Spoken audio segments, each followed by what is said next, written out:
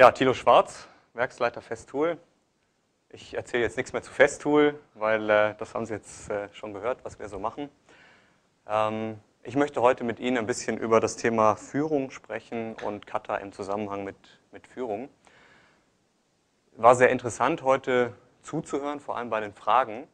Und äh, ich versuche so mal drei, drei Highlights rauszugreifen, die ich heute für mich mitgenommen habe. Das ist einmal das Thema Standards. Wir hatten heute Morgen die Diskussion mit dem Keil.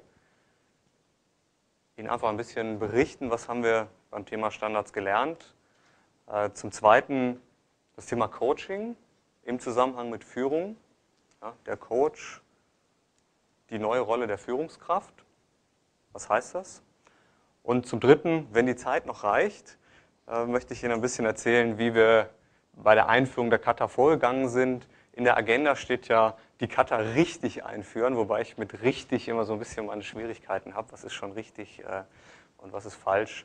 Es ist schwierig zu sagen, was wäre gewesen, wenn wir es anders gemacht hätten. Für mich ganz persönlich in diesem, in diesem Thema äh, sehr spannend. Ähm, in, den, in den letzten Jahren der Stellenwert des Themas Führung. Und äh, ich muss sagen, die Definition von Führung hat sich zumindest für mich in den letzten Jahren geändert. Äh, ich sehe Führung heute vor allem unter den zwei Punkten, die Sie hier in der Überschrift sehen. Führung heißt Herausforderungen, Richtung geben und Fähigkeiten entwickeln. Und ähm, so mein, mein, mein persönliches Highlight dabei ist, dass das eben heißt, dass wir uns in der Führung vor allem mit dem Faktor Mensch beschäftigen müssen. Ist eigentlich trivial, aber ich bin vom, vom Hintergrund her Ingenieur und äh, meine Frau ist Lehrerin und äh, ich war immer der Meinung, wir haben zwei völlig unterschiedliche Berufe.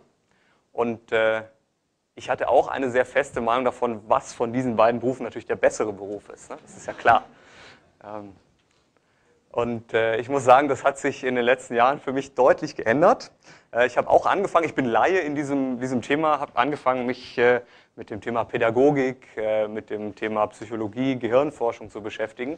Und dann war das ab und zu so, wenn äh, ich dann durchs Werk gegangen bin und solche Coaching-Zyklen gemacht und dann vielleicht parallel ein, ein spannendes Buch zu diesem Thema gelesen habe, gesagt, ah, heute, da, jetzt, jetzt ist mir wieder was klar geworden. Da haben wir jetzt richtig was Neues rausgefunden.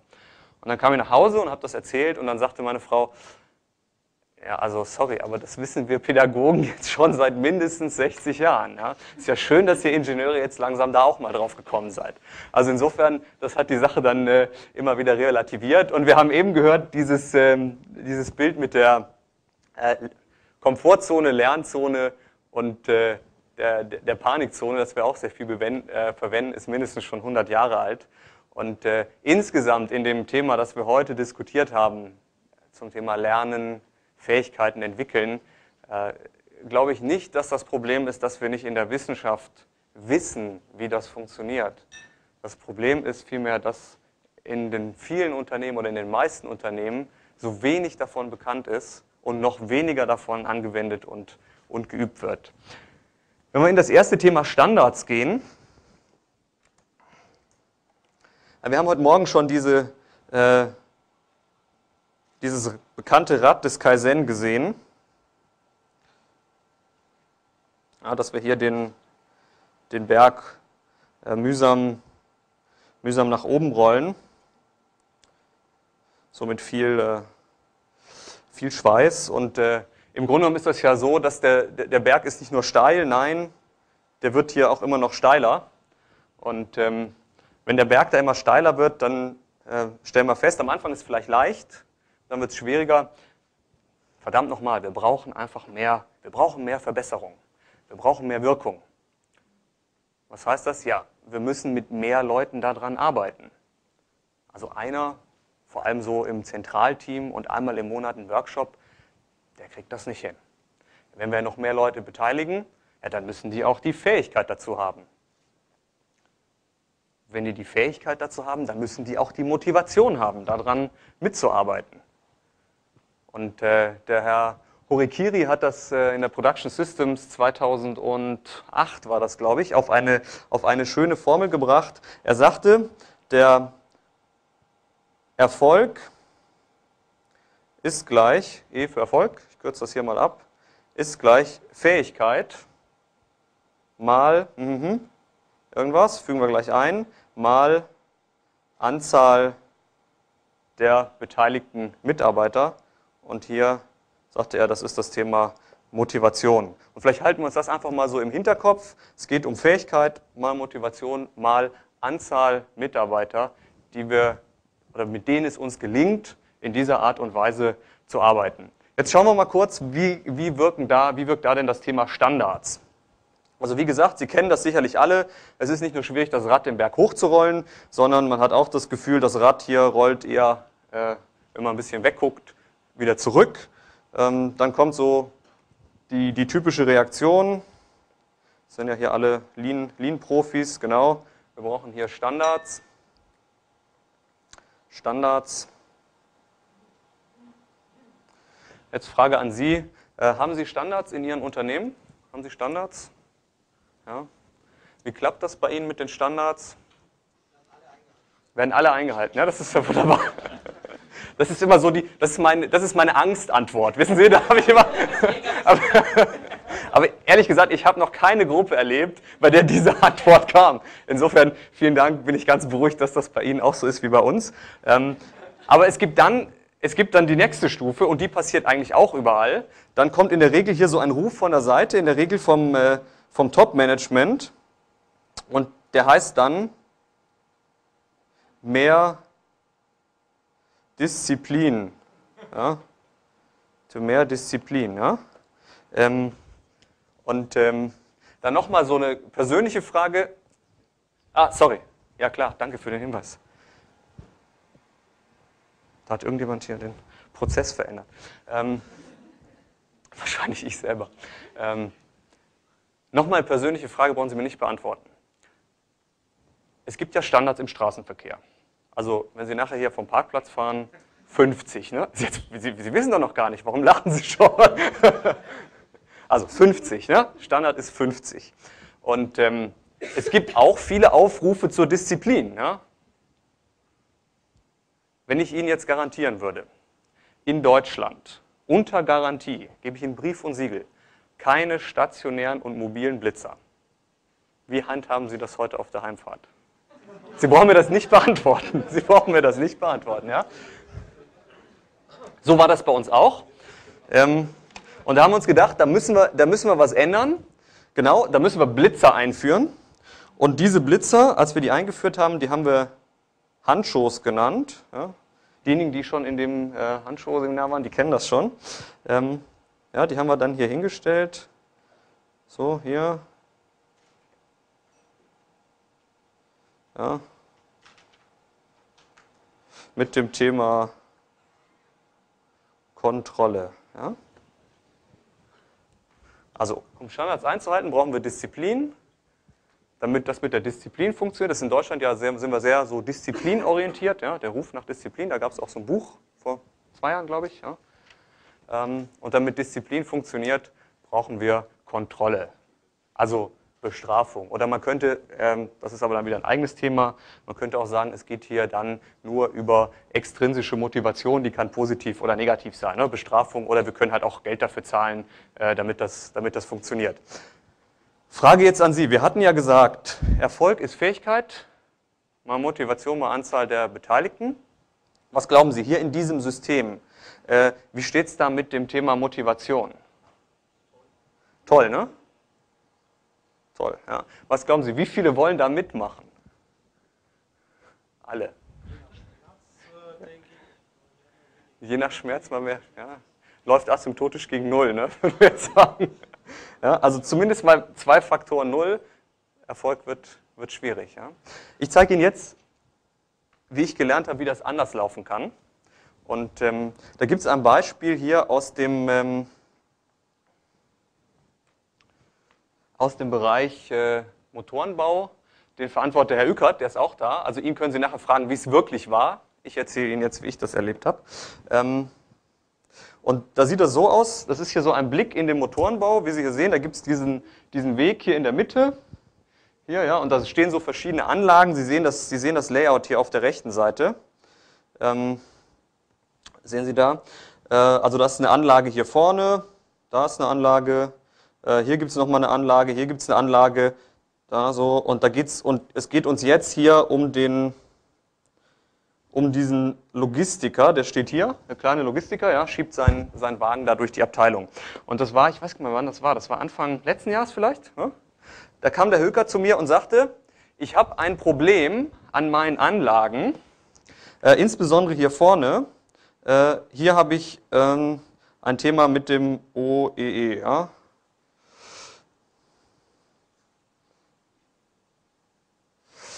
OE-Problem hier an dieser Stelle. Ja? Und er sagte, also ich bin mir nicht ganz sicher, aber das hat irgendwie was mit der internen Abteilungslogistik zu tun. Und ich sagte, ja, klar, ne, Glauben ist nicht schlecht, go and see, können wir da mal Fakten dran kriegen. Sagt er, ja, ich werde jetzt hier vorne mal eine Erfassung einführen an diesen Anlagen und die Bediener aufschreiben lassen, äh, wann immer es ein Problem mit der, mit der Teileversorgung gibt. Ähm, und dann können die da so eine Strichliste machen. Und dann hat er hier so eine, eine Strichliste eingeführt. Ich zeige Ihnen die schnell hier.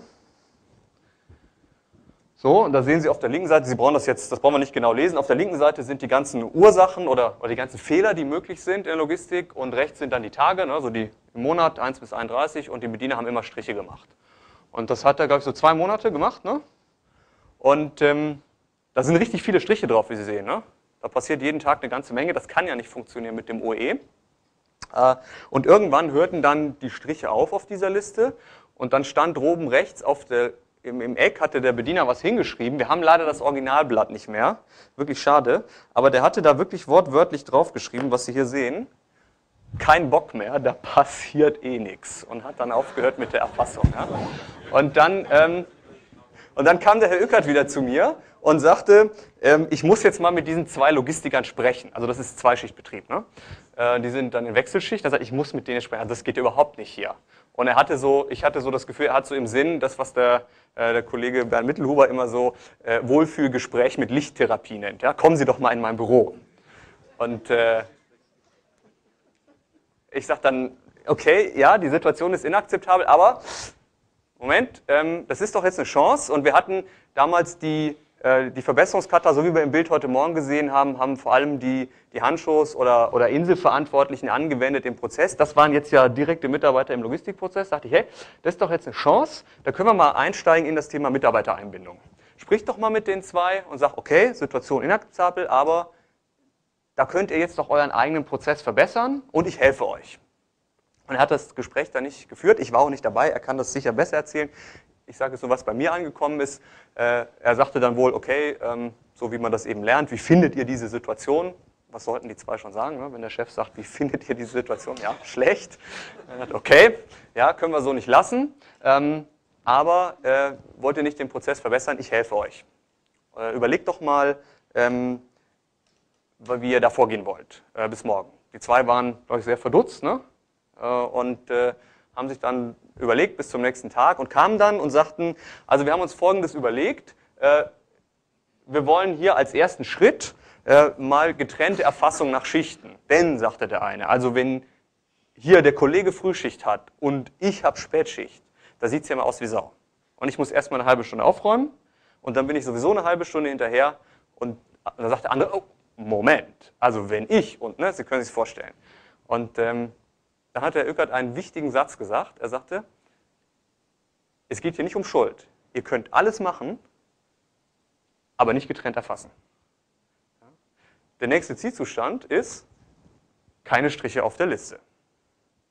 wir hatten vorher die Diskussion, ähm, oder war die Frage, können, können die Mitarbeiter unterscheiden Ziele, Zielzustände und, und wenn wir da jetzt noch mit Zielzuständen anfangen, verstehen die das? Unsere Erfahrung ist, die verstehen das viel besser als das Thema Ziele. Also stellen Sie sich vor, wir wären da jetzt gekommen, hier wie wir ganz am Anfang gestartet sind, äh, und äh, Abteilungsversammlung gemacht.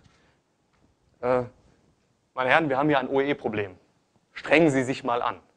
OE muss wieder auf, keine Ahnung, ja, 82 Prozent. Glauben Sie, die hätten das verstanden? Das hier, keine Striche auf der Liste, versteht jeder. Dann haben die angefangen, in dem Prozess zu arbeiten. Der Herr Ückert hat die so in die täglichen Coaching-Zyklen genommen. Äh, erster Schritt, äh, Situation verstehen. Wir haben erstmal gelernt, wie man den, den, den Prozess beobachtet. äh, haben das auch so, die Tätigkeiten mal aufgeschrieben. Ich habe da jetzt nicht jeden, nicht jeden Schritt dabei, aber die haben solche Listen gemacht. Ähm, hier sehen Sie so, die, das sind Uhrzeiten hier auf der linken Seite, hier auf der rechten Seite. Äh, also hier, da, da haben Sie dann diese, diese Tätigkeiten gelistet. Ähm, mal schnell rein. Ja, da, da sind die Tätigkeiten. Ähm, haben das dann über mehrere Tage gemacht und haben dann festgestellt, da gibt es ja eine Reihenfolge. Und dann haben sie angefangen, das mal farblich zu markieren. Und Sie sehen das schon hier. Ja, da gibt es hier so wiederkehrende, äh, so wiederkehrende Dinge.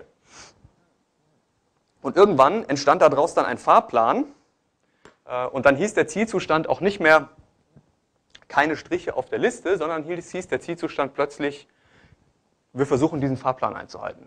Ja.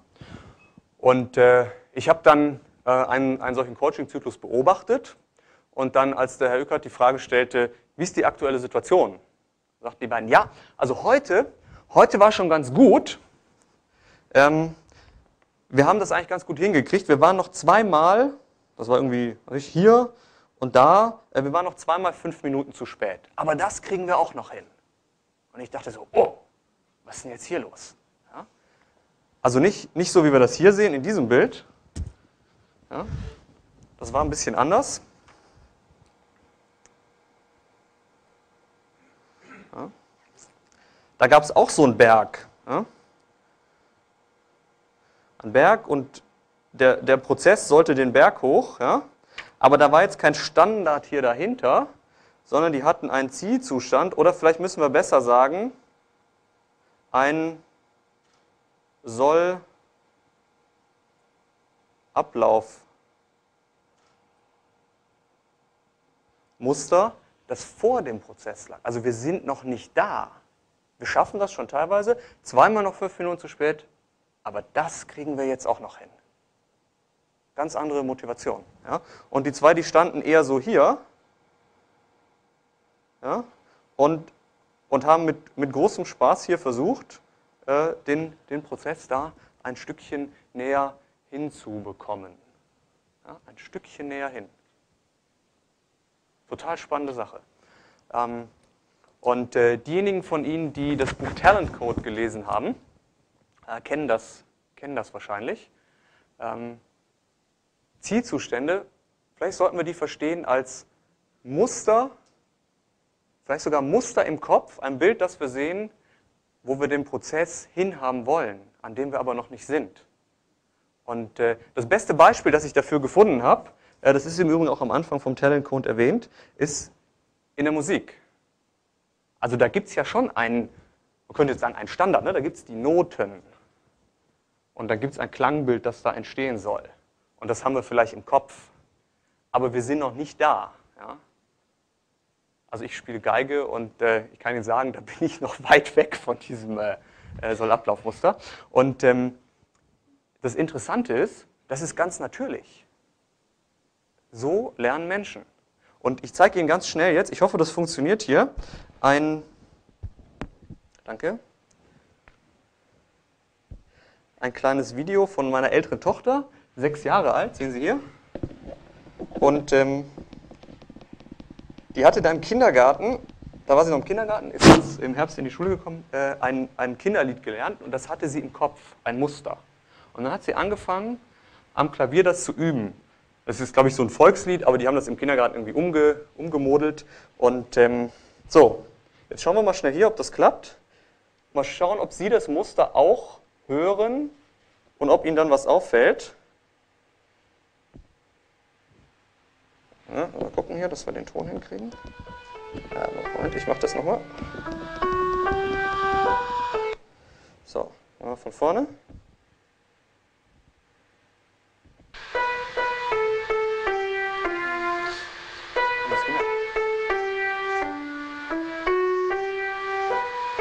Haben Sie gemerkt, wo sie gelernt hat? Haben Sie es gemerkt? Nochmal. Da.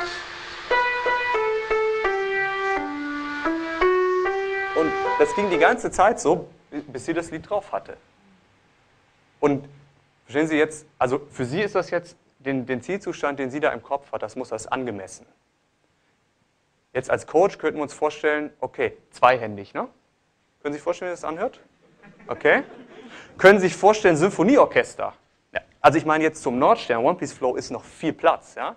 Sie hat jetzt gerade dieses Muster im Kopf, passt völlig für sie und sie lernt da. Das heißt, sie, sie lernt an der Abweichung und kann sofort korrigieren. Und äh, wenn Sie Musiker beobachten und wenn die üben, dann schreiben die sich ja so Dinge ins Notenblatt rein. Und in diesem PDCA-Cycle, da steht ja auch das A ne, für Act. Und da reden wir auch oft, also bei uns steht da Fixierung drin. Ja? Und das ist ja auch immer so ein Diskussionspunkt. Was heißt denn jetzt Fixierung? Das ist doch jetzt wieder Standard, oder? Vielleicht sollten wir das mehr so verstehen wie das, was die Musiker sich über die Noten drüber schreiben. Also wir haben es jetzt gelernt und jetzt schreiben wir uns das rein und beim nächsten, beim nächsten Durchlauf ist das im Muster drin. Ja? Also hier beim nächsten Durchlauf ja, arbeiten wir das gleich hier in unser Muster, äh, äh, arbeiten wir das gleich hier in unser Muster wieder ein, passen das Muster an, verschieben vielleicht den Zeitbalken ein kleines bisschen nach da. Ich glaube, so sollten wir Standards verstehen.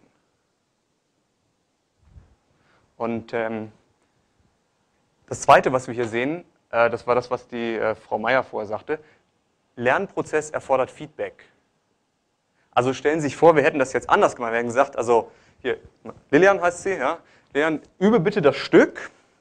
Wir setzen dir aber hier so Ohrschützer aus der Produktion auf, nehmen das auf und in zwei Wochen, äh, wenn dann die Monatsauswertung der Kennzahlen aus dem Controlling kommt, spielen wir das vor und dann bitte lerne.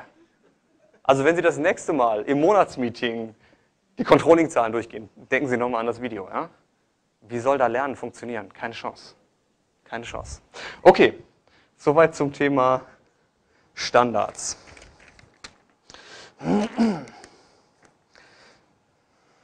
Acht Minuten noch. Ne? Ähm, Gehen wir mal in das Thema Coaching als nächstes. Äh, der Coach, die neue Rolle für die, für die Führungskraft. Und ähm, ich habe mir mal ein paar Sachen aufgeschrieben, die uns aufgefallen sind, worauf der Coach achten sollte. Und ähm, ich möchte beginnen mit den fünf Fragen, die Sie sicherlich alle kennen. Wenn Sie das, das Kata-Buch gelesen haben, heute Morgen in dem Beispiel von Gerd Aulinger, waren Sie ja unterschwellig drin. Äh, ich möchte Sie trotzdem nochmal hier schnell ähm, äh, schnell auflegen. Ähm, die sehen Sie hier auf der linken Seite. Und am Anfang war ich der Meinung, diese fünf Fragen, die sind für den Mentee. Also die stellen wir, damit, äh, damit wir den Mentee anleiten können. Ich glaube, das ist anders. Die fünf Fragen sind der Merkzettel für den Coach. Und da sind so ein paar Worte drin, die sind jetzt hier groß formuliert. Das sind meine Merkworte. Also Sie können da andere und so haben, ja, aber das sind meine. Ähm, Im ersten steht drin, was ist der Zielzustand? Zielzustand groß, es muss immer einen Zielzustand geben. Achtung, wenn du an einen Prozess gehst und äh, nicht, wie läuft es denn heute so? Ja, ist ein bisschen dunkel hier. Nein, was ist der Zielzustand? Für den Prozess. Zielzustände sind für Prozesse. Es muss einen Prozess geben. Wie ist die aktuelle Situation? Aktuell, ist klar, ne? Heute nicht, also der Schnitt äh, der letzten drei Monate der Produktivität an dieser, ja, heute, aktuell. Welche Hindernisse halten uns von der Erreichung des Zielzustands? Da ist es wieder ab. Also Referenz. Es geht um Hindernisse, es geht nicht um Auffälligkeiten. Das war die Karte, warte mal, wie heißt das? Äh, Kata Field, Field Map. Ne? Field Theory. Ja? Es geht nicht um irgendwelche Auffälligkeiten, die da außen rum sind. Es geht um diese Hindernisse, die uns abhalten vom Zielzustand. Und welches eine gehen wir als nächstes an, äh, kam vor bei Ihnen vor, ne? damit die Experimente nicht, äh, nicht, sich nicht gegenseitig beeinflussen. Und dann kommt die Frage 4 und da steckt das Thema mit der Ursache drin. Ja? Was ist deshalb der nächste Schritt? Also nicht, was ist dein nächster Schritt, sondern was ist deshalb der nächste Schritt? Da muss es eine logische Begründung geben. Und was erwarten wir dann? Also es geht nicht um Probieren, sondern es geht um Experimentieren mit einer Hypothese, ja, wie Sie vorher sagten, und dann Falsifizieren äh, der Hypothese, die wir da haben. Und zum Schluss hier das Thema heute. Das Thema heute, äh, es geht darum, schnell zu sehen. Denn wenn wir über Hypothese und Experiment arbeiten, könnten wir ja falsch liegen. Mit hoher Wahrscheinlichkeit sogar, wie wir heute gemerkt haben. Ja? Also müssen wir schnell wissen. Kleine Schritte. Und äh, vielleicht das nur an der Stelle eingeschoben. Warum sind kleine Schritte so wichtig? Risikominimierung, ja, wir lassen die Mitarbeiter gehen, da, können wir nicht, da darf nicht irgendwas passieren. Äh, der zweite wichtige Aspekt ist Motivation beim Mentee. Also wenn ich sage, äh, machen Sie mal, los, mach mal, ja, äh, und äh, für den guten nächsten Schritt und in vier Wochen sprechen wir wieder. Und in vier Wochen komme ich und stelle fest, er war stets bemüht, aber leider in der falschen Richtung. Und ich sage ihm dann, tut mir leid, müssen wir nochmal, dann wird er sagen, tolle Methode, aber taugt irgendwie nicht. Und das Dritte ist, und ich glaube, das ist der wichtigste, wir müssen täglich coachen, damit der Coach lernt. Verstehen Sie, wir, wir arbeiten ja mit Menschen. Und mit Menschen ist das ja nicht so, Schalter umlegen und morgen ticken die anders. Und es könnte ja auch sein, ich habe im Coaching einen Fehler gemacht. Ich habe den, ich habe ihn in die falsche Richtung gelenkt. Wie soll ich denn da lernen, wenn ich erst ja, in vier Wochen wiederkomme? Kurze Zyklen, damit der Coach lernt. Und ähm, im Grunde genommen ist das hier wie die, wie die Grammatik. Und wir hatten heute Morgen den Punkt, äh, die Kata lernen, um sie zu vergessen. Total klasse. Ja? Genau darum geht es, intuitiv.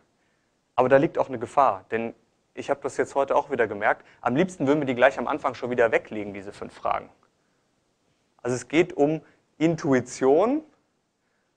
Das soll eher Grammatik sein. Ja? Also die deutsche Grammatik, vor allem ich, ich kann sie nicht erklären, aber ich glaube, ich kann es halbwegs passabel so einen Satzbau hinkriegen. Ja? Äh, irgendwie ist das drin, ohne dass ich sie je gelernt habe. Das sollte eher so sein. Es sollte nicht sein, okay, die fünf Fragen habe ich mir durchgelesen, jetzt le lege ich sie weg. Grammatik. Grammatik. Ja. Und ähm, ich habe Ihnen mal ein Beispiel mitgebracht, ähm, was passiert oder was passieren kann, wenn, ähm, wenn wir die fünf Fragen nicht anwenden. Schauen wir mal schnell hier. So. hier rein. So, das ist jetzt hier in einer Montage, auf der rechten Seite sehen Sie Montageinsel, die sieht im Layout so aus, wie Sie hier unten sehen. Ja? Und da geht es um einen Logistiker, der außenrum diese Insel versorgt. Und da geht es so um Zykluszeit, wie viel Aufwand hat der und, äh, und solche Dinge. Ich zeige Ihnen das mal ganz schnell hier. Mal im nächsten Schritt. Jetzt müsste man fast das Licht ein klein bisschen dunkler machen. Geht das nochmal? Einfach, dass sonst, sonst sehen wir da nichts. Ähm, danke. Also, ähm, wir stellen auch fest, es gibt in den Zielzuständen in der Regel so einmal das angestrebte Ergebnis und dann gibt es den Prozess und in dem Prozess eine Prozesskennzahl. Wahrscheinlich können Sie es schwer kennen, aber das hier ist eine Ergebniskennzahl, da steht drin, ähm, Ziel ist hier 5% Logistikanteil, also das Verhältnis direkt zu, zu indirekter an der Insel. Und ähm, das Zweite, was es hier gibt, ist dann hier eine, ähm, eine Rundenzeit für den Logistiker und die sollte hier ähm, zwischen vier und sechs äh, Minuten dauern. Jetzt habe ich Ihnen einen kurzen Auszug aus einem Gespräch, das tatsächlich gelaufen ist. Ähm, da steht hier, ja, schade, dass man das hier nicht sehen kann. Moment. Okay, ich lese es Ihnen vor. Also der Coach sagt, wie ist der Zielzustand? Frage 1. Ja? Der Mentee sagt, Logistikanteil 5%. Dazu müssen wir eine Rundenzeit von 4 bis 6 Minuten erreichen mit einem Mitarbeiter. Coach sagt, wie ist die aktuelle Situation? Mentee zeigt auf das Chart hier oben. So. Dann fragt der Coach, was war dein letzter Schritt? Okay, ja, gängige Frage. Mentee geht zum Prozess und zeigt das hier und sagt, ich habe die Bereitstellung für die Stellschrauben verbessert. Schau hier, zeigt das. Da ging es so um, um, Zuführung und wie lange braucht der Logistiker, um das äh, in, in die Insel zu füllen. Der Coach sagt, jetzt kommen wir genau an den Punkt, es war heute Morgen super klasse. Äh, als äh, Gerd fragte, was ist die nächste Frage, dann sagt jemand, äh, ja, was ist dein nächster Schritt? Und genau das hat er da gefragt keine Referenz nochmal zur aktuellen Situation. Er fragte, was ist dein nächster Schritt? Und dann sagte der Mentee, ja, ich werde die Bereitstellung für die Zapfen verbessern. Merken Sie es, wo es schwierig geworden ist? Ja, das ist jetzt so die Nasenring-Situation. Er führt ihn jetzt von Maßnahme zu Maßnahme. Gemerkt? Ja, also er kam jetzt von einem Schritt auf die nächste Maßnahme. Wir sind jetzt nicht mehr was ist das nächste Hindernis? Abweichung zum Zielzustand. Was wäre vielleicht besser gewesen? Ja? Sagen, in der Ist-Situation, schau mal, wir haben doch hier vorne zwei Runden. Die waren deutlich länger. Äh, die hier oben, die da, äh, die waren deutlich länger als die anderen. Was hält uns denn davon ab, den Zielzustand zu erreichen? Also genau das Beispiel, was wir heute Morgen hatten, genauso passiert. Die fünf Fragen sind am Merkzettel für den Coach. Es geht um Hindernisse. Was hält uns ab, den Zielzustand zu erreichen? Es geht nicht darum, die nächste Maßnahme zu sehen.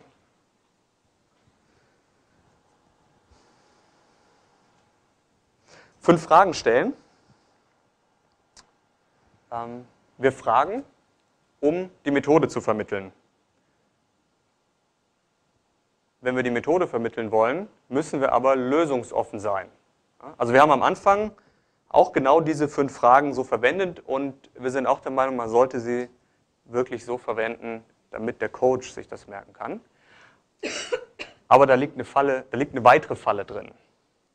Denn in der Regel ist es ja so, dass in dem Verhältnis Mentor-Mentee der Mentor die direkte Führungskraft ist und ganz klassisch oft auch der ist, der sich um Prozess zumindest am Anfang mal besser auskennt. In vielen Produktionsbereichen, gerade dort, wo wir aus so klassischen Meisterstrukturen kommen, ist das so. Und was passiert dann typischerweise? Na, der, Coach hat schon die Lösung im Kopf. Er sagt dann, okay, was ist da deshalb dein nächster Schritt? Ja, so. Ah, können wir das nicht auch anders machen? Überleg doch nochmal. Ähm, ja, könnte man auch so machen. Ja, nee, überleg nochmal. Ja? Das machen sie dann genau fünfmal. Dann sagt der Chef, sag mir doch einfach, was du willst. Ja? Sie lachen jetzt, aber das ist genauso passiert. Und die Falle ist immer wieder da. Sie glauben gar nicht, wie schwierig das ist, in Prozessen zu coachen, in denen man sich auskennt. Wir müssen lösungsoffen coachen. Und ich will Ihnen jetzt ein, ein klein bisschen einen Trick zeigen, wie, wo ich sage, okay, in der Richtung könnte das vielleicht funktionieren.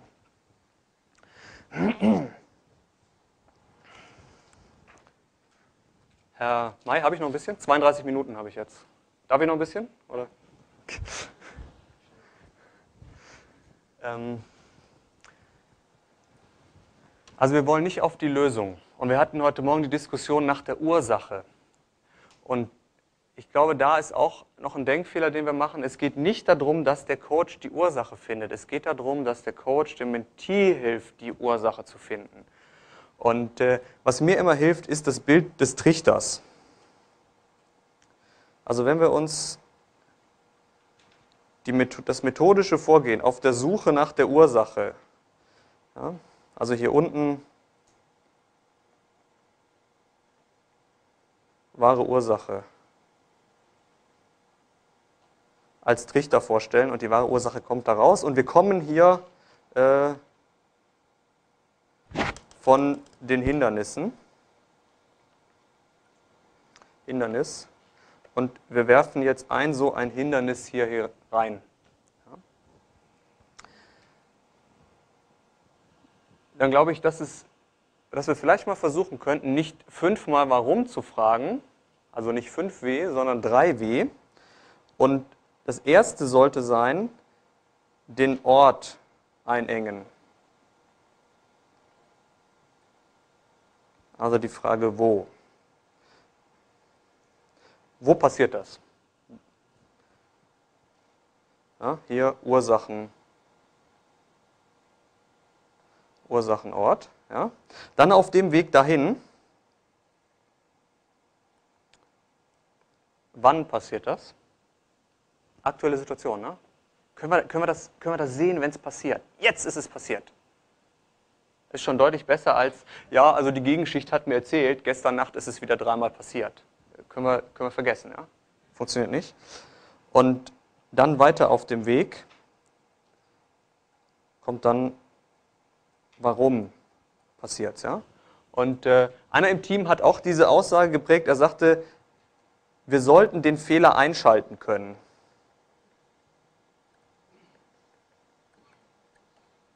Das ist von dir, Carsten, ne? einschalten können. Ja?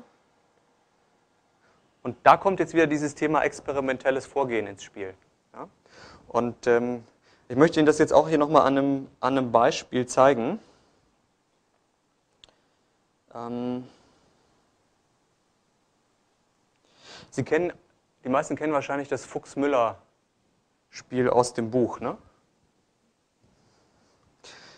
Ähm ich probiere hier nochmal was schnell. Irgendwie hat der sich umgeschaltet, sonst sehen Sie nicht alles darauf. Sorry.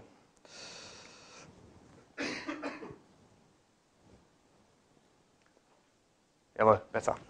Ähm, es ist ein super Ding. Ich, ich weiß gar nicht, wie lange Toyota daran gefeilt hat, bis sie das hatten. Da hat man, finde ich, immer wieder was. Denken Sie jetzt an den Trichter. Also ich habe das aus mehreren dieser Abschnitten zusammenkopiert. Erster Satz. Frau Fuchs schlug Herrn Müller vor, den Montageprozess der Innenverkleidung zu beobachten. Also die wissen, es geht, es geht um Innenverkleidung. Wir kommen hier rein. Hindernis, Innenverkleidung. Nachdem Frau Fuchs und Herr Müller im Anschluss mehrere Montagezyklen des Mitarbeiters beobachtet hatten, fragte Frau Fuchs Herrn Müller, ob er etwas beobachtet hatte. Welche Hindernisse halten uns ab, den Zielzustand zu erreichen? Sie merken es? Was möglicherweise ein Problem für die Montage sein könnte. Herr Müller sagte, für ihn würde der Prozess normal ablaufen. Er könnte keine Abweichung vom Arbeitsstandard erkennen. So, und das ist jetzt ein ganz normaler Fall. Und was dann oft passiert, wenn Leute das anfangen zu coachen, die sagen dann, dann geh noch mal gucken. Der war aber schon gucken. Dann guckt er nochmal, kommt er wieder? Ich habe nichts gesehen. Geh noch mal gucken. Und irgendwann sagt der Chef, Schnauze voll. Ja? Das heißt, Coaching heißt nicht, die Leute da so lange zappeln zu lassen, äh, bis sie irgendwann draufkommen oder sterben, sondern Coachen heißt Fähigkeiten entwickeln. Das heißt, mit jedem Zyklus müssen wir dem Mentee helfen. Das ist die Aufgabe des Coaches. So, jetzt wie hilft sie ihm? Trichter. Frau Fuchs bat ihn noch einmal zu beobachten, sich aber diesmal darauf zu konzentrieren, welche Handlung der Mitarbeiter vornimmt, um die Mutter auf den Bolzen zu montieren denn sie weiß ja, es geht um die Gewindebolzen. Und jetzt wendet sie erste Schritt im Trichter an, Ort einengen. Wo passiert's? Erster Schritt. Gucken Sie mal jetzt nur auf diesen Abschnitt. Er hat wieder gesagt, ich sehe nichts, ja, harter Fall hier. Äh, und dann sagt sie, Frau Fuchs schlug vor, nochmals vor Ort zu gehen, um einen näheren Blick darauf zu werfen, was die Mitarbeiter taten und was die Umstände waren, wenn das Gewinde beschädigt wurde. Wann passiert's? Merken Sie? Das ist da eingebaut. Als ich das da drin entdeckt habe, habe ich gesagt, Mensch, Toyota, unglaublich in dieser Schulung, ja, was die da alles drin haben. Der Trichter ist eingebaut. Also wo, wann, warum passiert es? Und dann, und dann, das finden Sie auch in dem Beispiel, ich habe es jetzt nicht dabei, dann machen die ein Experiment, um es selber zu verstehen. Und dann merken Sie, stimmt, da gibt es so ein Gefühl, wenn man die Mutter auf den Bolzen aufsetzt. Ja. So. Soll ich noch ein kleines Beispiel und dann Schluss. Einen haben wir noch. Okay, ich zeige Ihnen jetzt noch mal ein kleines Beispiel aus einem Logistikprozess, weil oft auch die Frage kommt, ähm, Zielzustand, was ist denn der nächste Zielzustand? Hatten wir ja heute Morgen auch äh, äh, uns so angeschaut.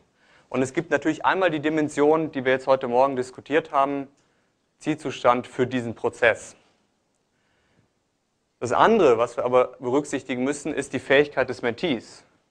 Also das, was äh, vielleicht für Sie völlig in der bekannten Zone ist, oder so gerade am Anfang der Lernzone sagen Sie, hey, das ist, macht Spaß, kann für mich schon in der totalen Panikzone sein. Also Zielzustände, es geht nicht nur um den Prozess, es geht auch um die Fähigkeit des Mentees. So, hier im Logistikprozess bei uns, oben sehen Sie so einen Überblick über die Montagehalle, ziemlich verwirrend, da stehen lauter solche Montageinseln drin, äh, die sind hier grün und blau markiert und es geht darum, ähm, das Material, das Zuliefermaterial in dieser Halle zu verteilen. Gehen wir mal schnell an die Coaching-Tafel.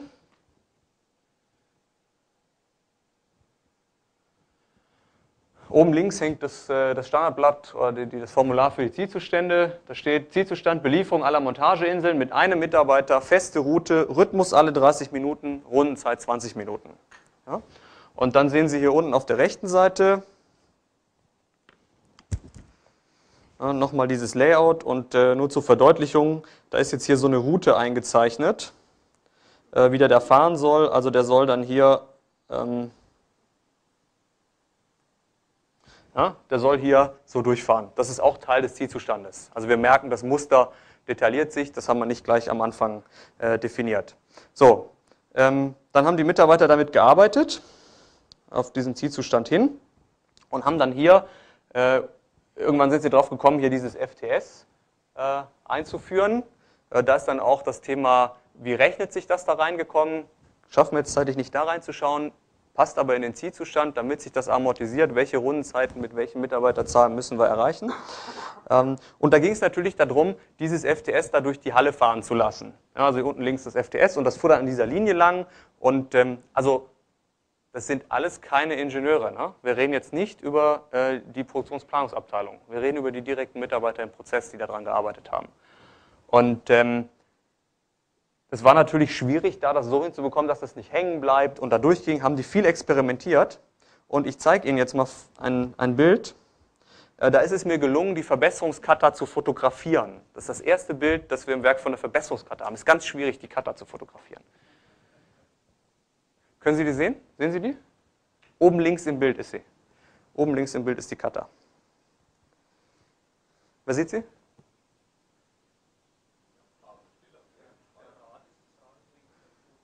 Ja, schauen Sie mal hier, die haben, ja, da sieht man jetzt jeden Zyklus hier. Die haben die Linie verlegen müssen, damit der Wagen die, damit er die, die, die Runde schafft. Ne? Sehen Sie? Erster Versuch, ja, zweiter Versuch. Ich weiß jetzt nicht, wie die Reihenfolge war. Dritter, vierter, fünfter. Jetzt haben wir es. Sehen Sie? Kata fotografiert. Einzigartiges Bild. Und ähm, da hatten wir ein, ein, ein Thema hier mit dem, ähm, es ging dann weiter, nachdem Sie die Route hatten, nachdem sie die Route hatten, äh, ging es dann natürlich darum, diese Zeiten zu erreichen und auch die Anzahl der Mitarbeiter zu erreichen. Und dann sagte mir der Coach dort, als ich das beobachte, sagte, ich komme hier mit dem Mentee nicht voran, der sieht das einfach nicht. Ich muss dem jetzt mal ein paar Lösungen geben. Ich sagte, Moment, Moment, Moment. Äh, wo, also in unserer, in unserer Kata, wo steht der Mentee? Ja, der versteht die aktuelle Situation nicht. Und ähm, da haben wir gesagt, gut, nächster Schritt, wir machen eben den Zielzustand mal kleiner und haben gesagt, wir nehmen nur mal die erste Insel. Also schauen wir nochmal schnell ins Layout hier rein. Wir nehmen hier die erste Insel. Kurz reingucken hier. So, wir nehmen nur mal hier die erste Reihe, diese, diese Strecke hier. Ja, ja die, diese Strecke auf der linken Seite und die bitte mal bearbeiten. Und haben dann dafür einen Zielzustand definiert. Also es gab jetzt den Übergeordneten zwischen mir und dem Abteilungsleiter und dann zwischen ihm und seinem Handschuh gab es dann den da drunter und der sah dann so aus. Sehen wir hier. Ähm, äh, jawohl. Ja. Belieferung nur der ETS-Insel, das ist eben das Produkt in 30 bis 40 Sekunden, also Schwankungsbreite vorgegeben. Äh, feste Route, Rhythmus alle 30 Minuten, denn das ist ja im Rahmen der Gesamtroute. Und für den Abschnitt, den das FTS da fährt, da war dann diese Gesamtbiege 2,5 Minuten. Also näherer, näherer Zielzustand. Ja. Und ähm, dann hat er angefangen, das zu beobachten. Ja. Und äh, wir haben dann gemerkt, plötzlich fängt er an, die Dinge zu sehen. Ja. Das heißt, wir müssen die Zielzustände einstellen auf die Fähigkeit des jeweiligen Mentees. Und äh, genau mit dem Handschuh ist mir neulich was total Cooles passiert. Da bin ich durchs Werk gegangen und sah ihn da mit seinem FTS und dann äh, habe ich ihn gefragt, und wie läuft es denn so mit dem FTS? Weil ich bin jetzt ja nicht, ne, ich war jetzt nicht sein direkter Coach. Und dann hat er kurz nachgedacht, fing schon so an und dann sagte er auf einmal, ähm, ach komm, lass uns die fünf Fragen machen, dann kommen wir hier zügig und strukturiert durch. Okay, klassischer Fehler von mir. Perfekt, ja. Also in, in diesem Sinne, ähm, so viel mal einige, einige Eindrücke, das könnten wir jetzt noch eine ganze Weile weitermachen. Äh, ich hoffe, Sie haben einen ersten Eindruck davon bekommen, wie Kata und Coaching äh, bei uns in der Praxis funktioniert. Vielen Dank.